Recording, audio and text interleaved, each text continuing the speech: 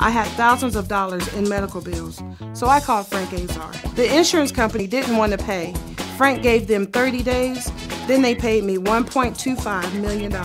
Call me. I'll go to work to get you every dollar you deserve.